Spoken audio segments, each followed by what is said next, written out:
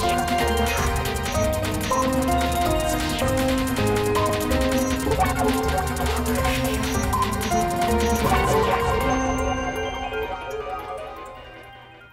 Olá, o repórter NBR está de volta com as notícias do governo federal. O presidente Michel Temer está em Mendoza, na Argentina, onde participa da reunião de cúpula dos chefes de Estado do Mercosul. Na manhã de hoje, os presidentes se reuniram em uma sessão plenária e, ao final, Temer recebeu do argentino Maurício Macri a presidência temporária do bloco pelos próximos seis meses. O presidente brasileiro elogiou os resultados alcançados durante o comando da Argentina, como a eliminação de barreiras para ampliar o livre comércio. Temer afirmou que entre as prioridades está a aproximação com outros blocos e regiões. Na presidência brasileira, continuaremos engajados em nossa ambiciosa pauta de negociações externas. Estreitaremos os laços do Mercosul com os países da Aliança do Pacífico. Juntos, o Mercosul e a Aliança do Pacífico reunimos cerca de 80% da população da América Latina e do Caribe representamos mais de 90% do PIB e dos fluxos de investimento estrangeiro na região. É significativo, portanto, o potencial de negócios entre os nossos empresários. Seguiremos também firmemente engajados nas negociações do acordo com a União Europeia. Ainda lá no G20, conversávamos o presidente Macri e eu com ah, os representantes da União Europeia e verificamos que precisamos superar algumas pequenas dificuldades, mas que já foram pré-negociadas pelo presidente Macri e juntos nós continuamos a entabular negociações com a União Europeia de modo a realizarmos definitivamente este grande acordo. Ao mesmo tempo, lançaremos também sobre a Ásia um novo olhar. Maior aproximação com parceiros asiáticos será outra vertente da presidência brasileira. Já temos mantido diálogo produtivo com o Japão, com a Coreia do Sul, com a Índia e com países da Associação de Nações do Sudeste Asiático. Uh, estaremos, portanto, empenhados nessas frentes. O Ministério do Planejamento divulgou hoje os dados sobre as despesas primárias do governo no terceiro bimestre deste ano. A previsão de crescimento da economia em 2017 está mantida em 0,5%. Já a projeção de inflação foi reduzida de 4,2% para 3,7%.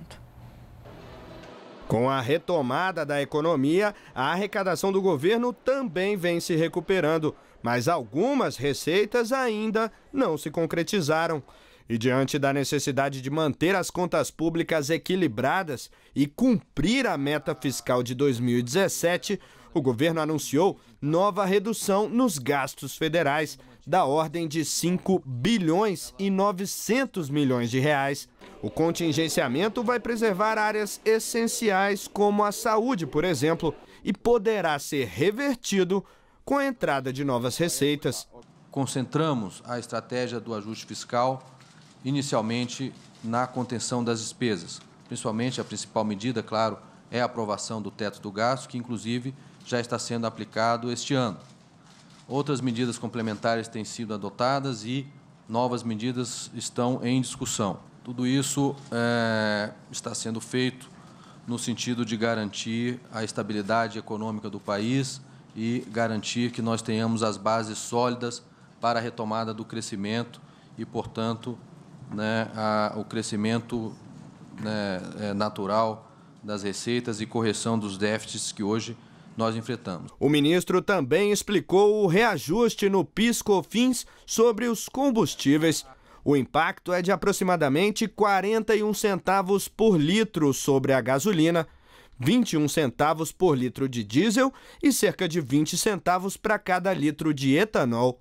O reajuste deve gerar uma receita adicional de 10 bilhões e 400 milhões de reais aos cofres públicos. Essa medida né, de aumento de tributos é, foi tomada pela estrita necessidade. Nós é, estamos é, é comprometidos com o cumprimento de uma meta fiscal para 2017 e, conforme já havíamos mencionado em oportunidades anteriores, nós é, só tomaríamos uma medida de alteração de tributos em último uh, caso. Com esse conjunto de medidas, o governo avalia que vai cumprir a meta fiscal deste ano, que prevê um déficit primário de 139 bilhões de reais em 2017. Durante a apresentação do relatório, o ministro do Planejamento lembrou que esse déficit é explicado principalmente pelas despesas ligadas à Previdência Social e reafirmou a necessidade de reforma no sistema previdenciário do país. A natureza do nosso déficit é, fiscal é totalmente explicada pela é, é, magnitude do déficit da Previdência. Não fosse o déficit da Previdência, nós não estaríamos experimentando nenhum déficit. E sobre o reajuste de tributos, o presidente Michel Temer garantiu que hoje garantiu hoje que não há previsão de aumento de outros impostos. Ainda em entrevista aos jornalistas na Argentina, o presidente destacou a importância das decisões tomadas pela equipe econômica. Quando eu cheguei ao governo, nós estávamos sob o signo da CPMF. Todos esperavam, achavam que nós iríamos restabelecer a CPMF. Não o fizemos durante mais de 14, 15 meses. Né? E agora, exata e precisamente, como disse ontem, para manter o crescimento, para incentivar o crescimento, para manter a meta fiscal, foi indispensável que fizéssemos, como a área econômica fez, um, um aumento uh, relativamente ao PIS e COFINS, mas apenas sobre combustíveis, não é um aumento geral. Você veja que a CPMF seria algo que apanharia todos os depositantes de bancos. Né? Ninguém quer tributo, mas na verdade, quando todos compreenderem, eu vou repetir, que é fundamental para incentivar o crescimento, para manter a meta fiscal, para dar estabilidade ao país e para não enganar, não, é? não produzir nenhum ato governativo que seja enganoso ou fantasioso para o povo, uh, esta matéria logo será superada, eu não tenho dúvida disso. Ainda durante a entrevista, o presidente falou sobre a reunião que teve com representantes de centrais sindicais ontem. Explicou que está sendo negociada uma alternativa à contribuição sindical que foi extinta na nova legislação trabalhista.